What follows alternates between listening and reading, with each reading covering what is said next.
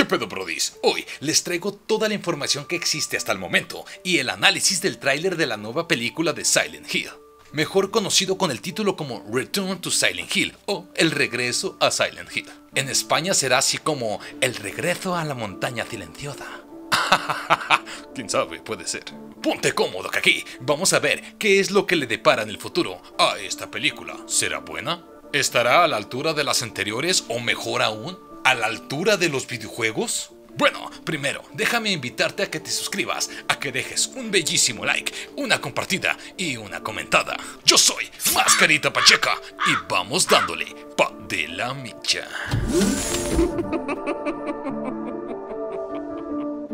El tráiler inicia tal cual igual al videojuego, con nuestro protagonista, James Sunderland, mirándose en el espejo del baño, tocándose el rostro y pasando a ver la carta que le ha dejado su esposa Mary. Carta, la cual dice que le estaría esperando en el pueblo de Silent Hill, en aquel lugar tan especial para ellos ya que en el pasado ya habían estado ahí de vacaciones, lugar en el que James había prometido que la llevaría de vuelta algún día.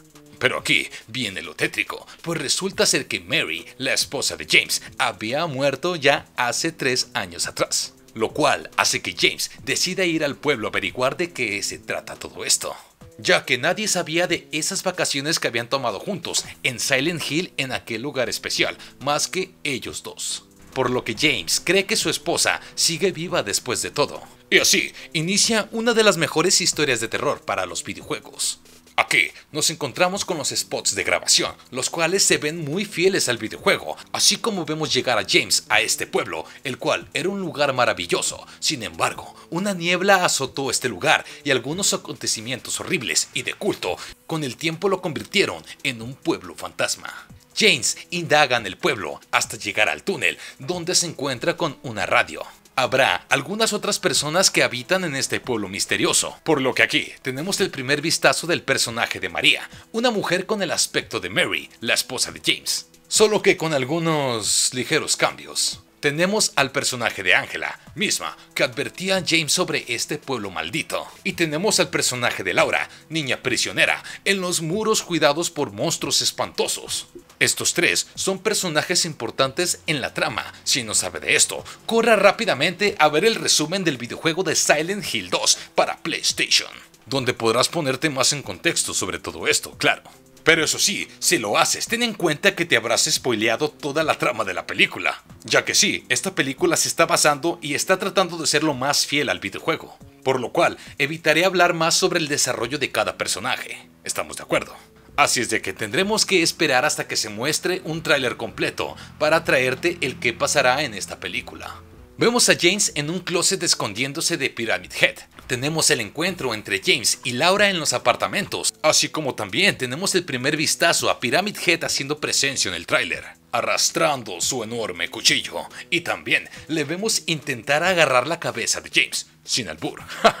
Vemos a James y a María cayendo del ascensor de una prisión. Veremos a las enfermeras locas. Y notamos que en esta película a Laura le dan un poco más de relevancia en el tráiler, por lo que seguramente será un personaje con más presencia en pantalla, ya que en el videojuego la vemos por ahí interactuando contigo de vez en cuando, pero no todo el tiempo está contigo. Y si preguntas si estarán las enfermeras, pues claro que sí. Aquí salen también, mismas que se acercan a James de una manera tan peculiar en la que lo hacen.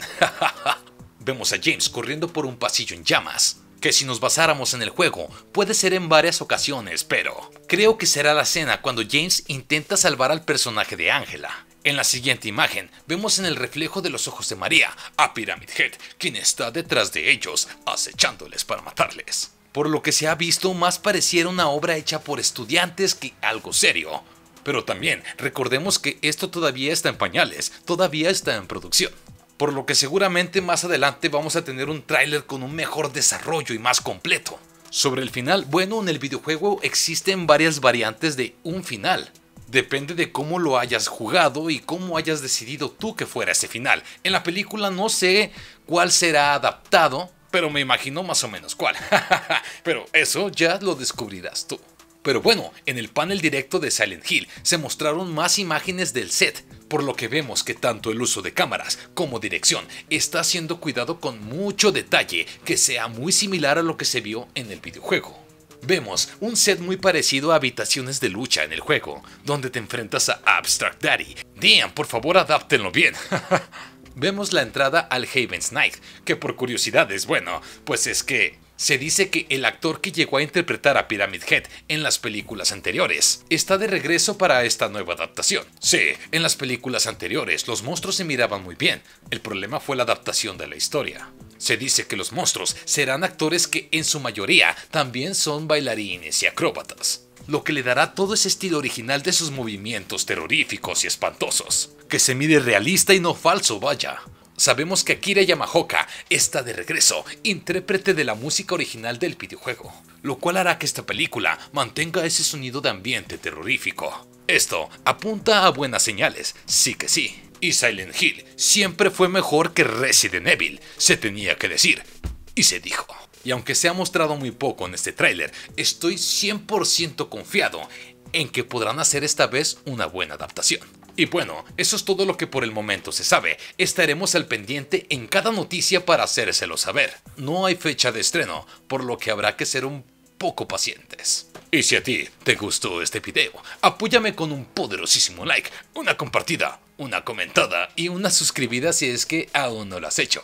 Activa la campanita para que YouTube te notifique de cada uno de nuestros videos nuevos. Cuéntame, ¿qué es lo que esperas de esta película? ¿Crees que logre superar a las anteriores? ¿Crees que sea una buena adaptación fiel a los videojuegos? Yo la verdad la veo muy fiel a los videojuegos, y eso para mí ya es puntazo. Pero tú, házmelo saber en los comentarios. Yo soy Mascarita Pacheca y nos vemos en un próximo video. Animas.